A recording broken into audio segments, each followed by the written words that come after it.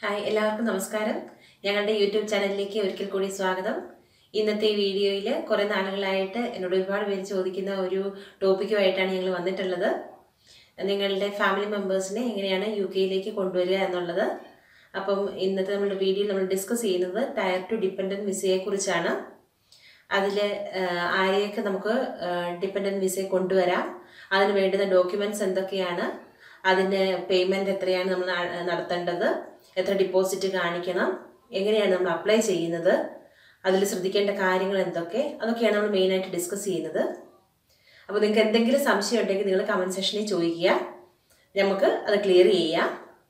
അപ്പോൾ നമുക്ക് എല്ലാവർക്കും വീഡിയോയിലേക്ക് കിടക്കാം. ആദ്യമായിട്ട് തന്നെ നമുക്ക് എന്താണ് ടയർ ടു ഡിപ്പെൻഡന്റ് വിസ എന്ന് നോക്കാം.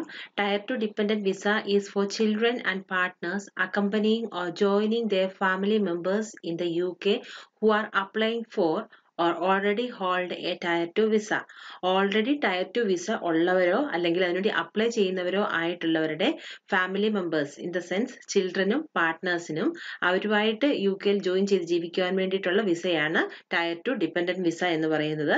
ഞാൻ ഈ സ്ലൈഡിനകത്ത് പറയുന്ന ഇൻഫർമേഷൻസ് എല്ലാം കളക്ട് ചെയ്തിട്ടുള്ളത് ഗവൺമെന്റ് ഓഫ് യു കെയുടെ ഒഫീഷ്യൽ സൈറ്റിൽ നിന്നുള്ളതാണ്. അപ്പോൾ നിങ്ങൾക്ക് എന്തെങ്കിലും ക്ലാരിഫിക്കേഷൻ ആവശ്യമുണ്ടെങ്കിൽ ഈ സൈറ്റിൽ നിങ്ങൾ പോയി നോക്കിയാൽ നിങ്ങൾക്ക് ഈ ലിങ്കിൽ ക്ലിക്ക് ചെയ്ത് നിങ്ങൾക്ക് പോയാൽ അറിയാം അപ്പോൾ അതുകൊണ്ട് ഞാൻ ഈ ലിങ്ക് താഴെ ഡിസ്ക്രിപ്ഷൻ ബോക്സിൽ ഇടുന്നതായിരിക്കും.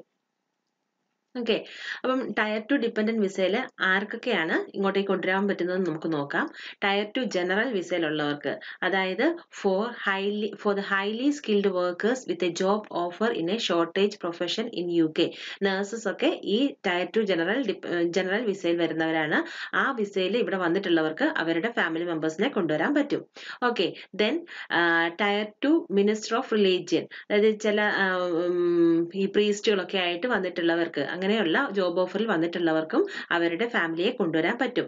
പിന്നെ ടയർ ടു സ്പോർട്സ് പേഴ്സൺ അതായത് സ്പോർട്സ് പീപ്പിൾ അല്ലെങ്കിൽ സ്പോർട്സ് കോച്ചസ് ഒക്കെ ആയിട്ട് ജോബ് ഓഫർ കിട്ടി യു കെയിലെ സ്പോർട്സിന്റെ ഇംപ്രൂവ്മെന്റിന് വേണ്ടി വർക്ക് ചെയ്യുന്ന ആൾക്കാർക്ക് ഇവിടെ അവരുടെ ഫാമിലി മെമ്പേഴ്സിനെ കൊണ്ടുവരാൻ പറ്റും.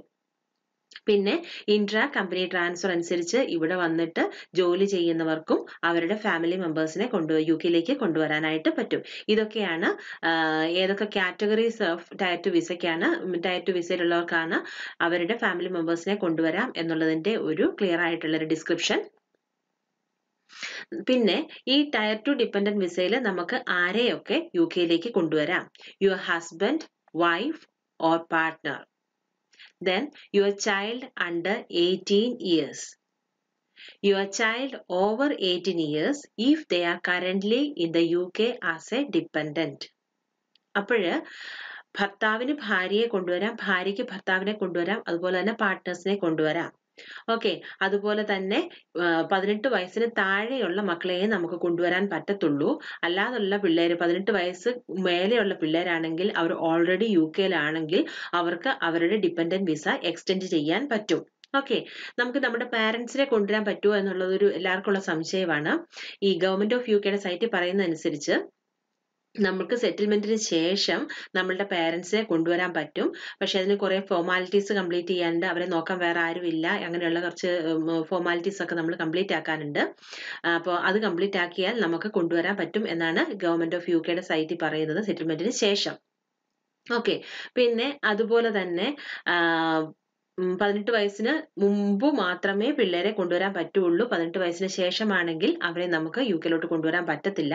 ഓൾറെഡി യു കെയിലുള്ളവരാണെങ്കിൽ അവരുടെ വിസ നമുക്ക് എക്സ്റ്റെൻഡ് ചെയ്തെടുക്കാൻ മാത്രമേ പറ്റത്തുള്ളൂ. അതുകൊണ്ട് മക്കളെ കൊണ്ടുവരേണ്ടവർ നേരത്തെ പതിനെട്ട് വയസ്സിന് മുമ്പ് തന്നെ കൊണ്ടുവരാൻ വേണ്ടിയിട്ട് ഉറപ്പാക്കുക. അതുപോലെ തന്നെ ചിലര് മീൻ സെക്കൻഡ് മാരേജ് ചെയ്തിട്ടുള്ളവരുണ്ടാവും. അങ്ങനെയുള്ളവർക്ക് അവരുടെ ഹസ്ബൻഡിനെ ഒക്കെ കൊണ്ടുവരണം എന്നുണ്ടെങ്കിൽ നമുക്ക് കൊണ്ടുവരാനുള്ള ഓപ്ഷൻ ഉണ്ട്. അതുപോലെ തന്നെ ആ ഫസ്റ്റ് മാരേജിൽ ആ ഹസ്ബൻഡിന് വേറെ മക്കളുണ്ടെങ്കിൽ അവർക്ക് അവരെ കൊണ്ടുവരണം എന്നുണ്ടെങ്കിൽ ഈ വ്യക്തി ഈ ഈ സെക്കൻഡ് മാരേജ് ചെയ്ത് ഇങ്ങോട്ടേക്ക് വരുന്ന ആ വ്യക്തി യു കെയിലെത്തി ആൾക്ക് ആളുടെ മക്കളെ സപ്പോർട്ട് ചെയ്യാനുള്ള ഫണ്ടൊക്കെ ആയി കഴിഞ്ഞു കഴിയുമ്പോഴേ കൊണ്ടുവരാൻ പറ്റത്തുള്ളൂ. മനസ്സിലായി എന്ന് കരുതുന്നു. അതായത് നമ്മൾക്ക് നമ്മളുടെ ബയോളജിക്കൽ കിഡ്സിനെ മാത്രമേ കൊണ്ടുവരാൻ പറ്റത്തുള്ളൂ. അല്ലാതെ സെക്കൻഡ് മാരേജ് ചെയ്ത് മറ്റേ വ്യക്തിയുടെ കൊച്ചുങ്ങളെ നമുക്ക് പെട്ടെന്ന് നമുക്കായിട്ട് കൊണ്ടുവരാൻ പറ്റത്തില്ല. ആ കൊച്ചിന്റെ ഒറിജിനൽ പാരന്റ്സ് ആരോ അവർക്ക് ആ ഹസ്ബൻഡ് ഐ മീൻ ആ കൊച്ചിന്റെ ഫാദറിനല്ല മദറിന് അവരിവിടെ യു കെയിലെത്തി. അതിന് വേണ്ടുന്ന ഫണ്ടുകളും കാര്യങ്ങളും ആയി കഴിഞ്ഞതിന് ശേഷം മാത്രം ആ മക്കളെയും കൊണ്ടുവരാം. ഓക്കെ പിന്നെ എല്ലാവർക്കും ഒരുപാട് സംശയമുള്ളൊരു കാര്യമാണ്. എത്രയാണ് നമ്മൾ ഡിപ്പോസിറ്റ് കാണിക്കേണ്ടത് എന്നുള്ളത്. അപ്പം നമുക്ക് കൊണ്ടുവരുന്ന ഓരോ വ്യക്തിയുടെ പേരിലും നമുക്ക് six thirty rupees pound six thirty pound നമ്മൾ സേവിങ്സ് കാണിക്കണം. ഈ സേവിങ്സ് മിനിമം നയന്റി ഡേയ്സ് എങ്കിലും നമ്മളുടെ അക്കൗണ്ടിൽ അപ്ലൈ ചെയ്യുന്നതിന് നമ്മൾ വിസയ്ക്ക് അപ്ലൈ ചെയ്യുന്നതിന് മുമ്പ് കിടന്നിട്ടുണ്ടായിരിക്കണം. അതുപോലെ തന്നെ നമ്മളുടെ സർട്ടിഫിക്കറ്റ് ഓഫ് സ്പോൺസർഷിപ്പിൽ നമ്മൾ കൊണ്ടുവരുന്ന സ്പോൺ നമ്മൾ കൊണ്ടുവരുന്ന ഡിപ്പെൻഡൻസിനെയും നമ്മളുടെ ഹോസ്പിറ്റൽ സപ്പോർട്ട് ചെയ്യും എന്ന് സ്റ്റേറ്റ് ചെയ്തിട്ടുണ്ടെങ്കിൽ അതുപോലെ അവർ നമ്മളുടെ എച്ച് ആർ ഡിപ്പാർട്ട്മെന്റിൽ ഹ്യൂമൻ റിസോഴ്സ് ഡിപ്പാർട്ട്മെന്റിൽ നിന്ന് അവർ എഴുതി തന്നിട്ടുണ്ടെങ്കിൽ നമുക്ക് ഡിപ്പോസിറ്റ് കാണിക്കേണ്ട. പക്ഷേ ചില ഹോസ്പിറ്റൽസ് അങ്ങനെ തരത്തില്ല. അപ്പോൾ അങ്ങനെയുള്ള സാഹചര്യങ്ങളിൽ നമ്മൾ പേഴ്സണൽ സേവിങ്സ് കാണിക്കണം. വരുന്ന ഓരോ വ്യക്തിക്കും സിക്സ് തേർട്ടി പൗണ്ട് ഡിപ്പോസിറ്റ് കാണിക്കണം. ഈ ഡിപ്പോസിറ്റ് നമുക്ക് വേണമെങ്കിൽ നമ്മളുടെ ഐ മീൻ വ്യക്തികൾ ഡിപ്പെൻഡൻസിനെ കൊണ്ടുവരുന്ന വ്യക്തികളുടെ അല്ലെങ്കിൽ സ്പോൺസറുടെ പേരിലോ അല്ലെങ്കിൽ ഡിപ്പെൻഡൻസിന്റെ പേരിലോ നമുക്ക് കാണിക്കാം. ഓക്കെ.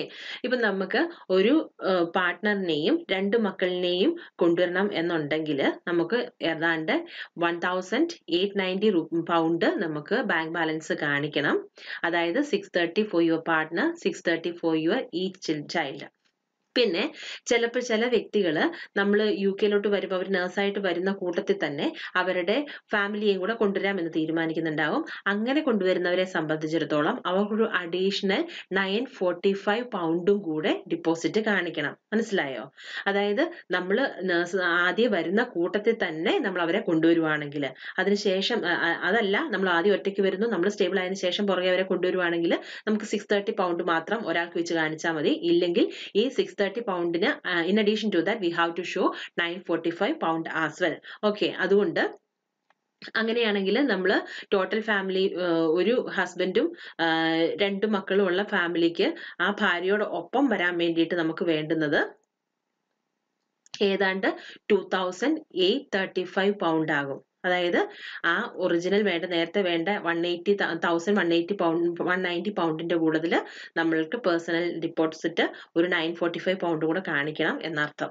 ഓക്കെ അതുപോലെ പേഴ്സണലി ഞാൻ പറയുകയാണെങ്കിൽ ഒരിക്കലും ഞാനത് റെക്കമെൻഡ് ചെയ്യത്തില്ല. കാരണം നിങ്ങൾ ആദ്യം വന്ന് നിങ്ങൾ ഓസ്കി എക്സാം ക്ലിയർ ചെയ്തതിന് ശേഷം നിങ്ങൾ നിങ്ങളുടെ ഫാമിലി മെമ്പേഴ്സിനെ കൊണ്ടുവരുന്നതായിരിക്കും നല്ലത്. കാരണം എന്താണെന്ന് ചോദിച്ചിട്ടുണ്ടെങ്കിൽ നിങ്ങൾ ആദ്യം ഒരു പുതിയൊരു ഒരു അറ്റ്മോസ്ഫിയറിലേക്ക് വരികയാണ് പുതിയൊരു കൺട്രിയിലേക്ക് വരികയാണ്. എന്റയർലി ഡിഫറെന്റ് ആയിരിക്കും എല്ലാ സാഹചര്യങ്ങളും. അപ്പം നമുക്ക് തന്നെ ആ സാഹചര്യമായിട്ട് അഡ്ജസ്റ്റ് ചെയ്യാൻ വേണ്ടി സമയമെടുക്കും. വാർഡുമായിട്ടും ഇവിടുത്തെ ആൾക്കാരുമായിട്ടൊക്കെ നമുക്ക് അഡ്ജസ്റ്റ് ചെയ്യാൻ സമയമെടുക്കും. അപ്പം നമ്മുടെ മക്കളും ഒക്കെ നമുക്ക് കൂടുതലുണ്ടെങ്കിൽ അവർക്കും എല്ലാം ഒരു മൊത്തത്തിൽ ബുദ്ധിമുട്ടായിരിക്കും. അതുകൊണ്ട് ആ ഒരു ആദ്യത്തെ ആ സമയത്ത് നമ്മൾ ഒറ്റയ്ക്ക് വരിക.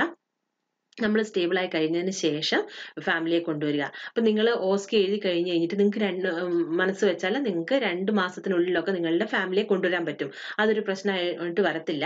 അതിന് നിങ്ങൾ ചെയ്യേണ്ടത് എന്താണെന്ന് വെച്ചിട്ടുണ്ടെങ്കിൽ നിങ്ങൾ നിങ്ങളുടെ ഹസ്ബൻഡിന്റെ പേരിലോ അല്ലെങ്കിൽ നിങ്ങളുടെ പേരിലോ ഒരു ഡിപ്പോസിറ്റ് നേരത്തെ തന്നെ ഇട്ട് വയ്ക്കുക ഞാൻ പറഞ്ഞ ആ ഒരു amount six thirty per person വെച്ചിട്ട് നേരത്തെ ഇട്ട് വയ്ക്കുക അപ്പോഴ് നിങ്ങൾ ഓസ്കി ക്ലിയർ ചെയ്ത് കഴിയുമ്പോഴത്തേക്കും എന്താണല്ലോ അത് നയന്റി ഡേയ്സ് കഴിഞ്ഞിട്ടുണ്ടാവും. അപ്പോഴത്തേക്ക് നിങ്ങൾക്ക് ആപ്ലിക്കേഷൻ വിസ ആപ്ലിക്കേഷന്റെ പ്രോസസ്സൊക്കെ സ്റ്റാർട്ട് ചെയ്യാം. രണ്ട് മാസത്തിനുള്ളിൽ നിങ്ങൾക്ക് നിങ്ങളുടെ ഫാമിലിയെ കൊണ്ടുവരികയും ചെയ്യാം. അതായിരിക്കും ഒന്നുകൂടി സേഫായിട്ട് ഞാൻ റെക്കമെൻഡ് ചെയ്യുന്നത്.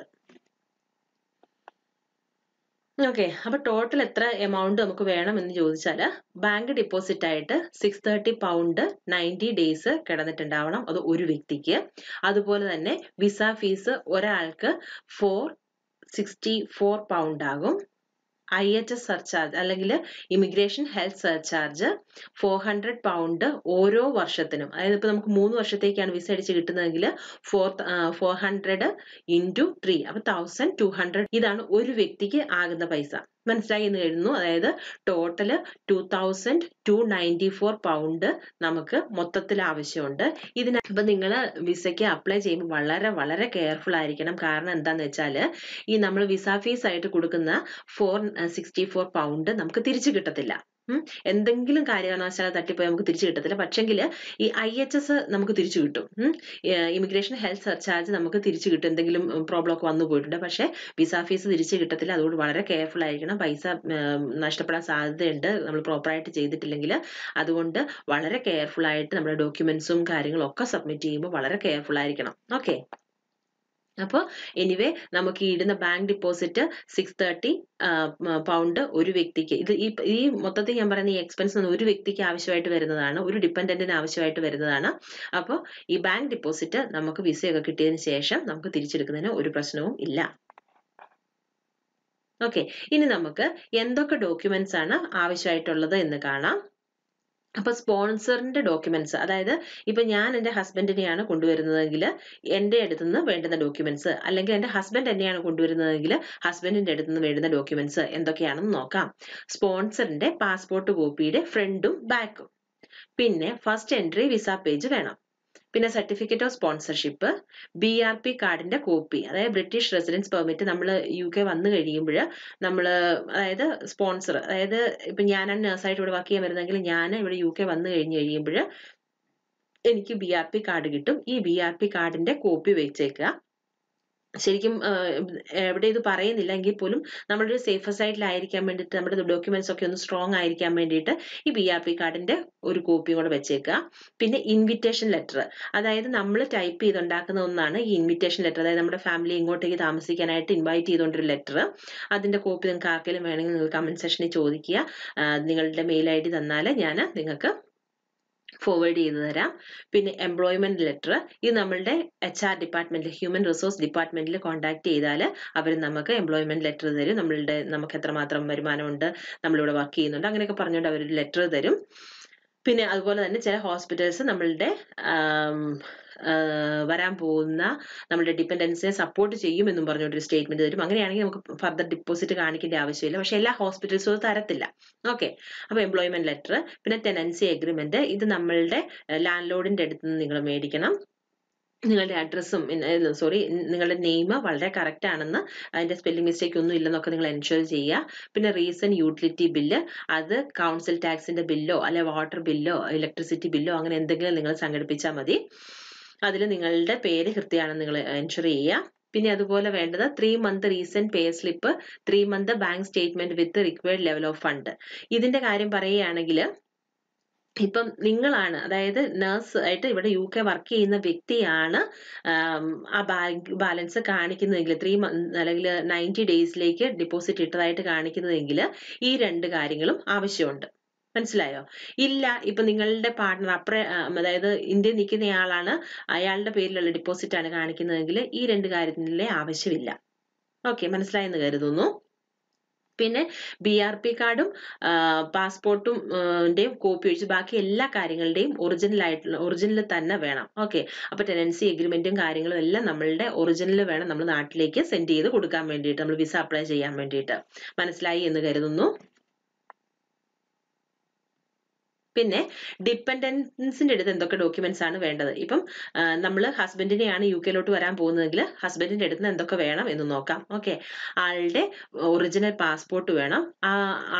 ആ വ്യക്തിക്ക് വേറെ പാസ്പോർട്ടുകൾ ഉണ്ടെങ്കിൽ അതായത് എക്സ്പയർ ആയി പോയതോ അങ്ങനെ എന്തെങ്കിലും രീതിയിൽ വേറെ പാസ്പോർട്ട് ഉണ്ട് എന്നുണ്ടെങ്കിൽ ആ പാസ്പോർട്ടും കൂടെ സബ്മിറ്റ് ചെയ്യേണ്ട ആവശ്യമുണ്ട്. ഓക്കെ പിന്നെ വിസ ഫോട്ടോ വേണം. വിസ ഫോട്ടോയുടെ സൈസ് എന്ന് പറയുന്നത് ഫോർട്ടി ഫൈവ് എം എം ഹൈറ്റും തേർട്ടി ഫൈവ് എം എം വിടുത്തും ഉള്ളതായിരിക്കണം.